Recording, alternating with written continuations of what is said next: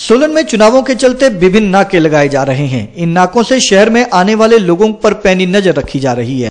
इन नाकों पर यह भी ध्यान रखा जा रहा है कि चुनावों के चलते राजनीतिक दल कहीं मतदाताओं को रुझाने के लिए कोई प्रलोभन तो नहीं दे रहे हैं। साथ ही वाहनों का भी निरीक्षण किया जा रहा है ताकि वाहनों के माध्यम से चुनाव आयोग के दिशा निर्देश अनुसार आपत्तिजनक समान कोई लेन देन नहीं हो सके।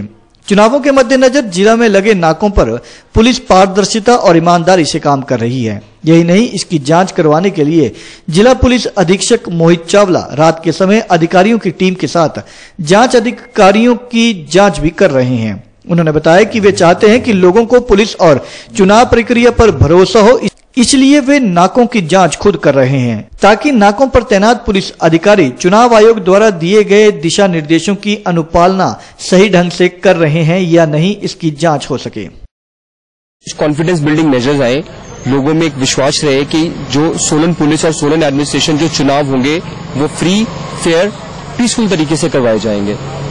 रूट चेकिंग सरप्राइज़ तरीके से डिफरेंट डिफरेंट जगहों पे की जाएगी। और इसको पूरा डिस्ट्रिक्ट किया कवर किया जाएगा। इसमें अलग अलग टीम्स बनाई गई हैं। जैसे कि आज देख सकते हैं कि आज ये team special team Solan proper शहर में है और आसपास की जगहें चेक करेगी। और इसमें गस्टेड ऑफिसर्स हैं और पुलिस की क्यूआरटी भी है। सिंपल सरल प्रयास ये है कि एक पीस और एक फ्रेंडली माहौल तैयार किया जाए इलेक्शन के लिए। इसमें देखिए, हमारे ऑलरेडी नाके लगे हुए हैं। इसमें ऑलरेडी स्टैटिक सर्विलेंस टीम्स और फ्लाइंग स्क्वाड लगी। उनकी कार्यप्रणाली को चेक किया जाएगा।